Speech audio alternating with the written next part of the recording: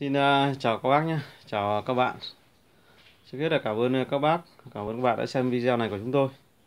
Hôm nay chúng tôi ờ, xin giới thiệu một cái sản phẩm tiếp theo. Thực ra cái sản phẩm này tôi đã đăng trên trang web rất là lâu rồi, nhưng mà hôm nay thì tôi mới quay cái video này giới thiệu cho các bác.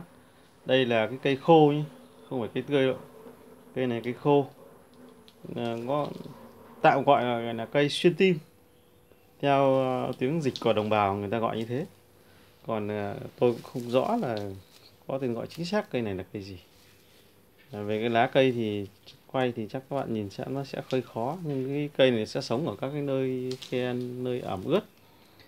Theo à, như đồng bào dân tộc và một số cái lương y đã sử dụng cái cây này gọi là cây xuyên tim này thì à, người ta nói rằng cây này có một số cái tác dụng rất tốt về cái bệnh tim.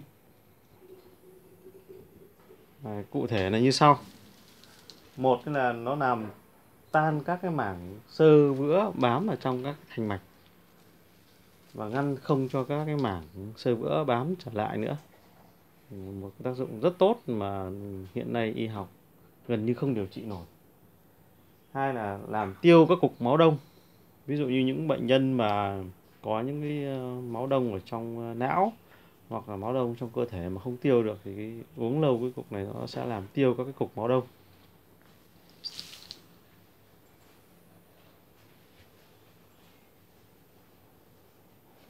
Và một tác dụng nữa là nó hỗ trợ điều trị về bệnh tim.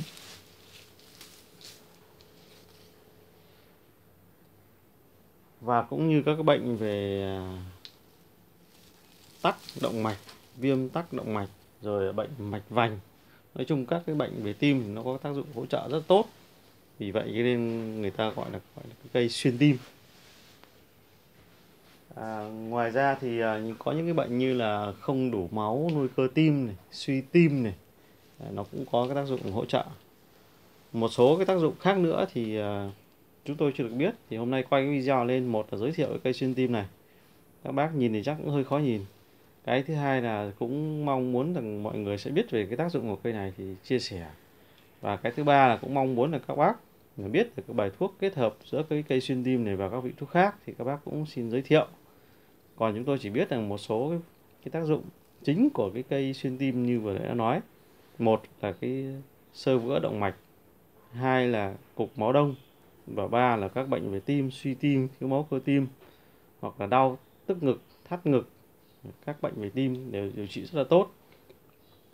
Các bác nào biết hơn nữa thì xin ờ, chia sẻ với chúng tôi qua cái số điện thoại đang hiện trên màn hình các bác nhé 0932 340 345 và bác nào muốn mua cái cây xuyên tim này thì cũng liên hệ với chúng tôi qua số điện thoại là 0932 340 345 về cái nước sắc cái cây xuyên tim này thì hôm nay trong khuôn khổ video này thì tôi chưa nói đến. Nhưng ờ, một chút nữa thì tôi sẽ đun mà sắc nước video cây xuyên tim này lên.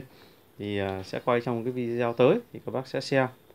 À, video này chỉ ờ, giới thiệu ngắn gọn như vậy thôi. Cảm ơn các bác đã xem cái video này nhé xin chào và hẹn gặp lại các bác trong các video tiếp theo.